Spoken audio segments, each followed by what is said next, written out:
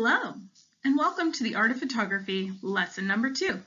My name is Kelly Coursey Gray, and in conjunction with the Southern Alleghenies Museum of Art from Ligonier, Pennsylvania, we're here to help you take better pictures. Well, hi everybody. My name is Kelly. I am your instructor, and I just figured out how to make myself appear in the bottom right-hand side of your screen. So I wanted to assure you there is a human behind the voice that you're listening to on this uh, particular video and introduce myself. So I have been a teacher for a very long time, done most of my teaching in front of really um, uh, some small groups and some really large groups of people and I'm looking forward to interacting with everyone in the online world. So, um, again, my name is Kelly, and welcome to the Art of Photography. I hope you have as much fun as I do taking pictures. So if you remember from our first photography lesson, when you take a photograph, you're actually taking a picture of light falling on a subject. And so this is just a little reminder of that because that is one of those things that needs to creep into the back of your mind and be present every single time you take a photograph. I also showed you last week this triangle because light on the moment or subject within a composition is the triangle that makes up every photograph. Now here is a, uh, a lovely pastoral scene from my hometown, and I just wanted to show you how different it looks in different light.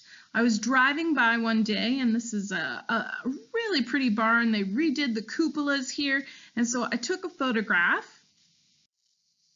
Then, about a week later or so, there was a foggy day. So this is essentially the same subject matter, but in vastly different light, and it evokes a different mood. I like to put the two of them together so that you can see that it is the same exact barn. In one picture I have of the fence, in the other picture I, I shot over the fence. But the, uh, the feeling that you get from each photograph is different, and the barn itself looks a bit different because there is different light, so there's different moods being evoked. There's a concept I want to introduce to you today called color temperature. And color temperature is something that you can just, once you understand a little bit about it, you can put it into the back of your mind for the most part. But it's something that I want you to start to consider in your photographs because as we know, light is the most important thing and sometimes light has a tint of color to it, especially at different times of the day. Now I've told you that photography is all about the light, but I want to introduce you to a very famous painter from the 19th century, a fellow by the name of Claude Monet. Claude Monet became known as an impressionist painter. And here are four images that he created of the Rouen Cathedral, a cathedral in the northern part of France in the city of Rouen. Now, this is the same image. It's the same composition. It's the same cathedral. The only thing that's changing dramatically is the light, the light falling on the cathedral. And so I wanted to show you that not only do photographers take light into consideration, but at different times, different types of artists have taken light and the temperature of that light into consideration in their art. If you've ever snapped a photograph indoors without a flash, you've probably gotten a warm type of image, something akin to the one on the left. I've actually color balanced the image on the right. It's the same exact image, but the light has been altered to reflect more of what I saw with my eyes. Now in your cameras, if you're using a camera, not a cell phone, if you're using a DSLR, mirrorless camera, point and shoot camera sometimes as well, all of these cameras, sometimes you'll see little abbreviations. You don't know what they are. If you've ever seen the abbreviation WB, it stands for white balance. And you can choose, if you're going to take a bunch of pictures in an indoor space, an indoor white balance and it will help you to achieve the correct color. It won't all come out super warm. So I'm about to show you a whole series of images of the cathedral, the Duomo in Milan, Italy. And uh, right here you can see the beautiful facade of the Duomo. It's a Gothic cathedral and uh, very, very ornate. But I want you to look at the differences as I took pictures during several visits at different times of the day. So note the color temperature changes. So here's one. Uh, looks like it's pretty early in the day. This, perhaps in the afternoon, it's uh, a bit of a warm glow and it's definitely casting a huge shadow on the one side of the cathedral. Here we're starting to get into a cooler light. So there's still a blue sky, but we're starting to get into um, a cooler set of color temperature. Now we've reached what a lot of people will call the blue hour here. And this is even more blue. And finally, this is full on night and this is illuminated by um, electric lights. So the color temperature has changed throughout the day. So perhaps the sun direct at noon, 5,000 to 5,400 Kelvin, daylight, sun and sky, a little bit higher, overcast, there's uh, it's 6,000 to 75,000 Kelvin. Now you don't have to worry about the numbers at all. I just want you to note because it can make a big difference in your photographs how the light can change your image and I want to talk about different times of day that are really great for different subjects and uh, that's a topic we will take up shortly. So when it comes to light, think about these things. What direction is the light coming from? Is it throwing a lot of shadows? Is it backlighting something? Are you shooting directly into the sun? Is the quality of light, is it harsh? Is it soft? Is it magical? Photographers, we love something called magic light, and I'll show you some photos that uh, I consider to have some magic light in them. But essentially, you're looking for that beautiful warm glow you get very often at sunrise and sunset. That's often what we call magical light, but it's not the only time it's magical. And I want you to think about the color temperature of the light. So if you've taken any photos inside, you might be a little confused as to why your images have kind of a strange color cast. So I want you to think about that as you start to take pictures. Now, I wanted to show you uh, a couple other examples of light and how it changes the mood, how it really animates some subjects. I was walking last fall through and I was looking for beautiful trees with lots of color and I came across this plant with lots of, um, I don't know, they look like little snowballs. Of course, they're seeds that fly in the air, um, but I took a picture and there was a little bit of light. You can see it's kind of on the, the left third line from uh, our last talk about the rule of thirds. But here, I got in closer to my subject and you can see that the light is really, it's activating a couple of those, you know, plant snowballs, as I will call them. And so the light really changes the look of what's happening. Now here, this image, um, it's a little out of focus, but I wanted to show you how dramatic the light can look if it's directly behind a subject. And here, this is a pure silhouette. So of all three images, I think I like this one best as far as kind of a moment, something that really reminds me of that particular day.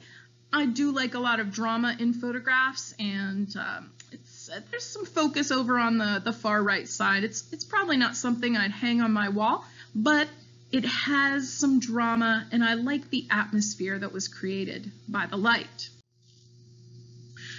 Now, here are a few pictures of me and I really wanted these pictures to come out well because for the very first time in my life, I'm holding a sloth. Uh, the sloth in the shadows there, his name is Elvis. And I had handed my camera to someone else and they took the pictures of me. And other than a memory, I don't consider these particularly successful because the shadows are so powerful and you can hardly see Elvis's face and, and my face is half shadow. It's very, very harsh. And so um, the person behind the camera, they did what I asked. They took my picture with the cute, adorable sloth named Elvis, but it's not something that I really want to hang on my wall because we're both in shadow. Now here, the person that was taking my picture, they also took my friend's picture. This is my friend JC, and he too is holding Elvis. Now I put the picture on the left in this program because I wanted you to see that because of the deep, deep shadows, the camera has to take a longer exposure, and this picture is blurry. You might say, why didn't we use a flash? Well, when you take pictures of animals, you tend not to use flash because it's very disconcerting for them. They don't understand it, and it's it's really too harsh uh, for them to deal with. It's a very artificial thing and uh, can be quite harmful for the animals. And if you use a flash out in the wild, after you take that one shot, most animals are gone. They do not like flash. Now on the right, the picture on the right, JC is still primarily in shadow. This picture did come out, but again, his face and Elvis's face completely in shadow. Now, this is another one of my friends, and I took the picture on the left, and I thought we were in good shape as far as shadows, but we really weren't. So this uh, this poor woman has a shadow going right down through her eye, across Elvis's arm, across her arm and elbow. And so what I did is I moved my feet. I may have asked her to take one step. I probably moved my feet and I shifted the perspective so that on the right even though the sun is very, very harsh, you can see her face and you can finally see Elvis's face as well. So in certain circumstances, you just have to play it by ear. You have to get the best picture you can as you can get it. And so always be ready, willing, and able to move your feet or scrunch down and get low or, or move your arms, whatever. Be ready to find the shot that's beneficial for everyone. Now, I don't want these lessons to be too long. I want to focus on just a couple things, but I want to show you my thought process in taking a particular image and how I got that particular image. I was lucky enough to live in Strasbourg, France for three months with some students. I was teaching art history and we got to live in a beautiful chalet in a phenomenal town called Strasbourg. It is in the Alsace, and that is right on the border of France and Germany on the uh, far east side of France. We went on a river cruise that day, and so as we went, we were in a very um, low uh, boat uh, boat low to the water. And I saw this beautiful church. I had passed it before. And so I took its picture. Uh, it's a beautiful sunny day. There weren't any harsh shadows on it. So I got a couple of pictures of the, the church. But I wanted to keep trying things. Now, one of the things that I wanted to show is that we were actually on a boat. I wanted to illustrate the mode of, of transport per se. Um, so if you look on the right, you can see that I looked down, I saw the reflection of the cathedral in the glass roof of the boat and I thought, well, that's pretty cool. So I took its picture there. And the picture on the left, I just wanted to show you what the top of the boat looked like and how we passed under those low bridges. So we are coming up on another bridge and the church looks beautiful, but um, there are people walking along. I, I thought about this and I said to myself, you know, I probably could have taken this photo um, on another bridge or if I was standing on the shoreline. And so I was still grasping, trying to find a unique shot on the boat of this church. I tried a couple different angles.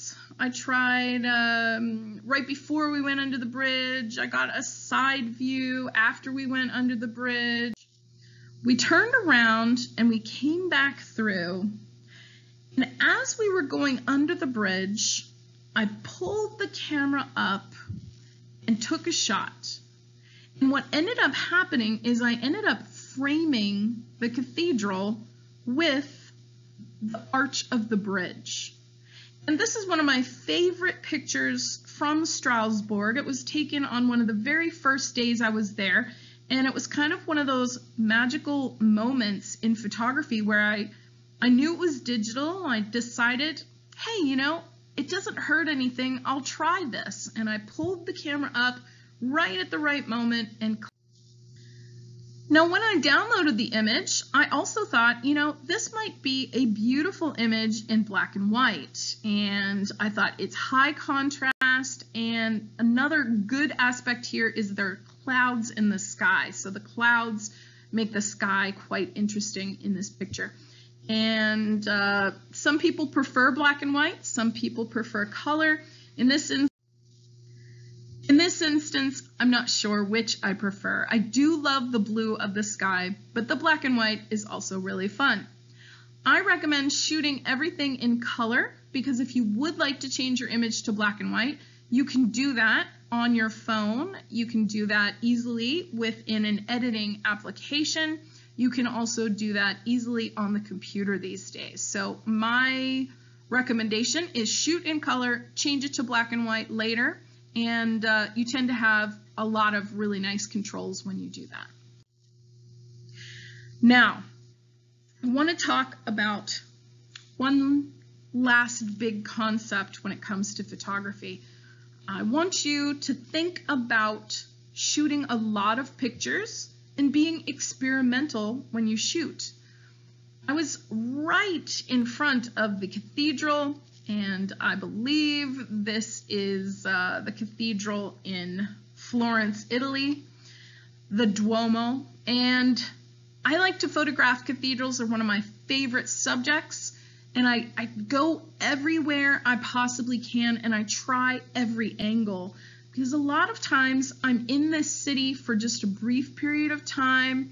I only have an hour or two or three to visit a cathedral they're beautiful, complex works of art and architecture. And so here I went right to the door and I looked straight up. And I want you to start thinking about different angles to take pictures from. Here's another cathedral. This is the Strasbourg Cathedral in Strasbourg, France. And again, I looked straight up, but this time I decided to go with a little bit of a skew and so it's a bit off center, off kilter. Um, ultimately, not my favorite photograph, but it's worth a try.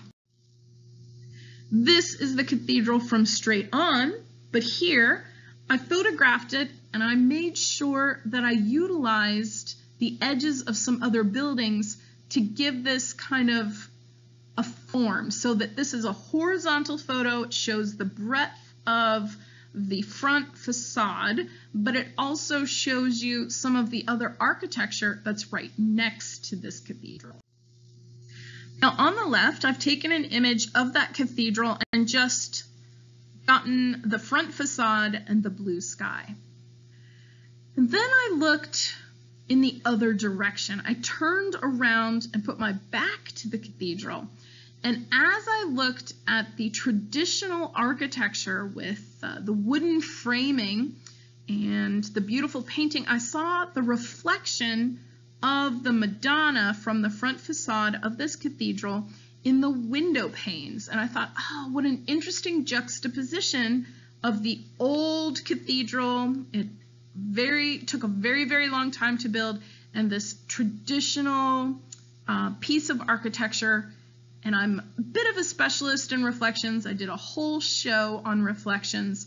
And so I thought, oh, this is really, really fun. So I moved around until I got the Virgin Mary here on the uh, left window on the right picture um, lined up so that you could see that it was the, the Virgin Mother with the baby Jesus from the cathedral.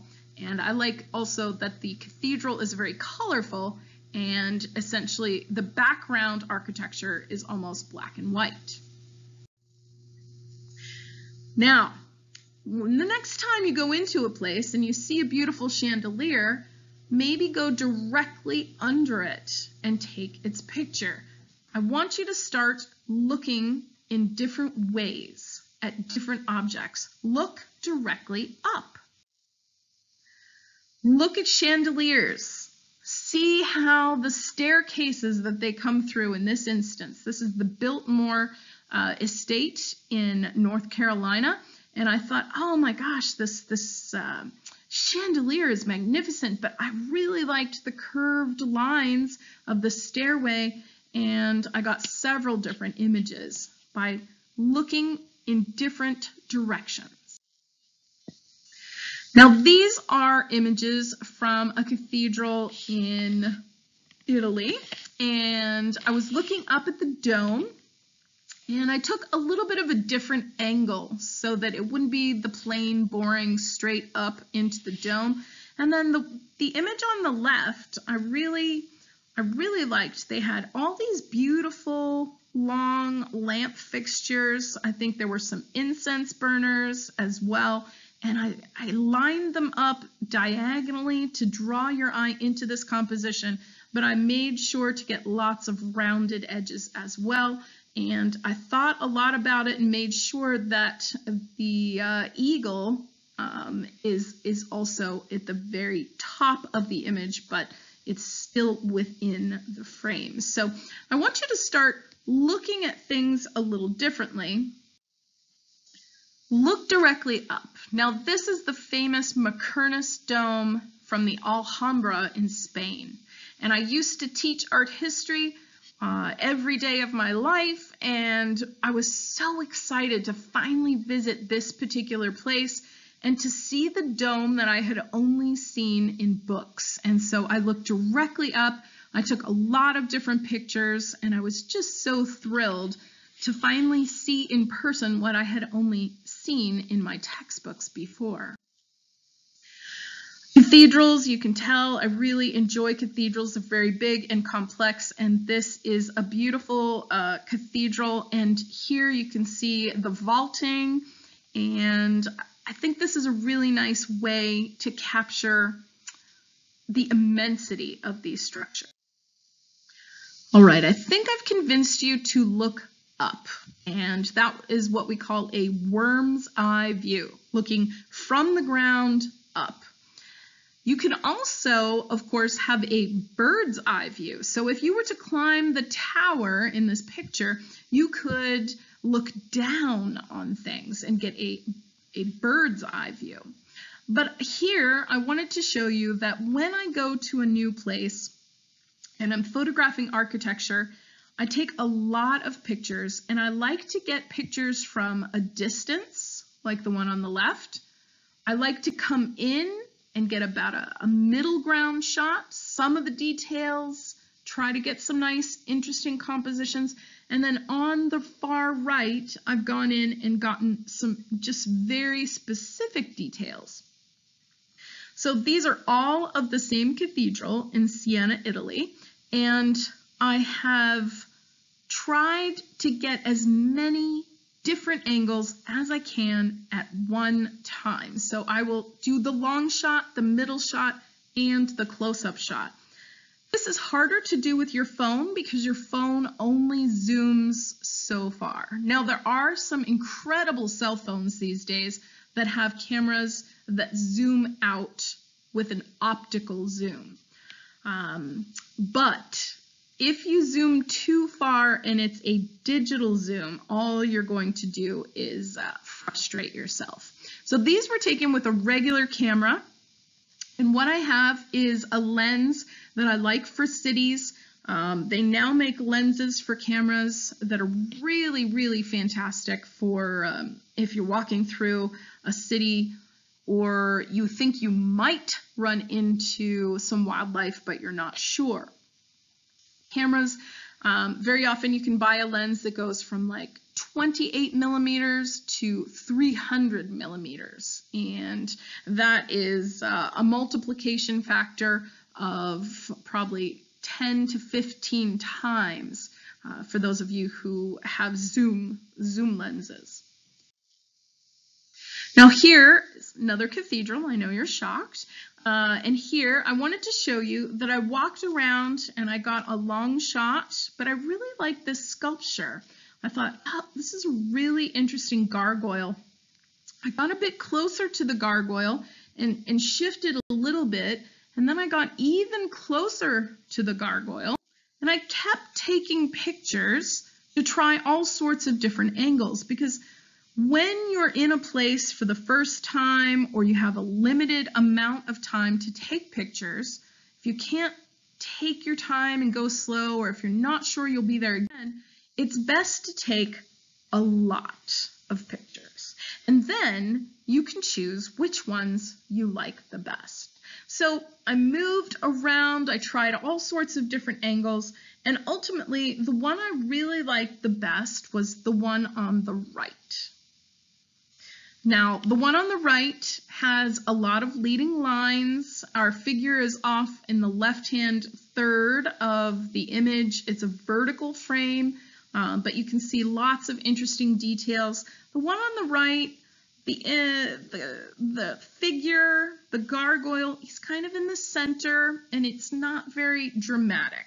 Um, I like the one on the right personally. Now here is a bird's eye perspective from the top of the Duomo in Florence.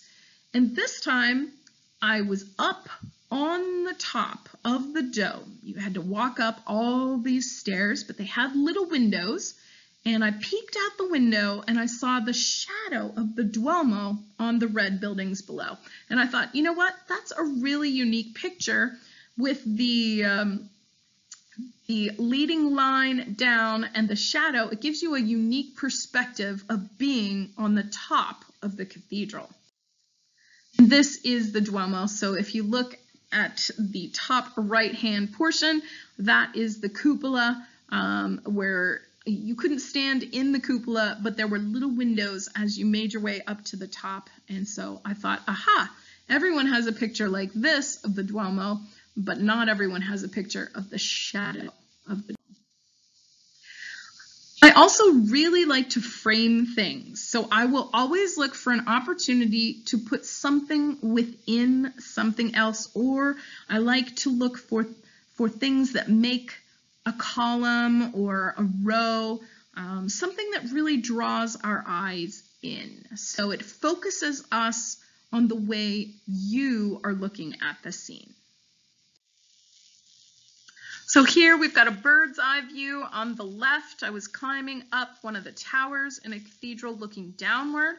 And then on the right is just an interesting angle. I, I took my camera, I tilted my camera, and I imitated the uh, diagonal line that you see these little gargoyle grotesque figures on. I love to frame things within other buildings. So if I see an arch near a church or there's something out in front, I will always try to build a frame for what I really want to showcase. And I think it adds some drama. Here is the Hassan II Mosque in Casablanca, Morocco. I got to walk all around the mosque and I was actually lucky enough to go on a tour in the mosque which is a real treat for visitors because a lot of religious buildings around the world are not open for um, tours and tourist type visits, which allow for photographs. But they did allow it here, and I was absolutely thrilled. Now, you'll notice on the left, I took a picture. There's a big pole uh, with the speakers, and I mean, it's a pretty image. There's a leading line. You've got some people for scale. But if you want to get more artistic, as I said, use one thing to frame something else.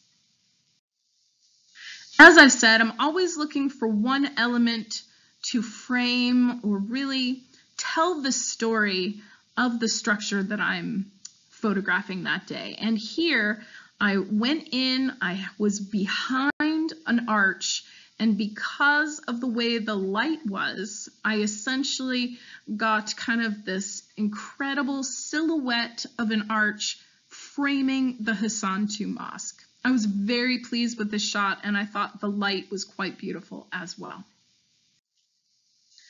And finally, this these are two images and they're almost uh, from the same place, the same cathedral, different hallway. This is Westminster Abbey. And in one instance, I photographed the window, but I utilized the bars of the window to show kind of the essence of this cathedral and the old style and kind of the old fashionedness. I, I really like that image. I've also turned the one on the left into a black and white and it looks pretty spectacular in my opinion. Now on the right, I also wanted to get a shot where there was nothing obstructing the window and you just framed the beautiful Westminster Abbey um, through kind of the courtyard and got a beautiful shot. So I've told you a lot today. We went over a couple things and I want you to get out there and take some pictures. Now, a lot of what I've shown you this week are architectural things, but um, even if you're stuck at home a lot, you can do this with any subject matter. I want you to take photographs from a high angle or a bird's eye view. I want you to take some photographs from a really low angle or the worm's eye view. And I want you to tilt your camera or your phone into a strange angle, something that you wouldn't necessarily have used before. And I want you to try some experimental shots and see what you might like. I want you to think about the light when you're taking all of these shots. And if you can get out during the magic hours of dawn and dusk, that's a great time. And we're going to talk a lot more about that in one of the upcoming lessons. Now you can post your favorite images to the SAML webpage when they post this video with a link. And I will take a look and give you some comments. And I hope that this assignment will inspire you to get out there and take tons of photographs. Don't be afraid. Take as many as you want you're not hurting anyone. It doesn't cost anything. Digital photography is our friend. Well, thanks for watching The Art of Photography number two. Coming up soon, The Art of Photography number three. If you enjoyed these episodes, please click like and subscribe on YouTube, and that way you won't miss out on any of the next adventures. So get out there, take lots of photographs, and I will see you soon.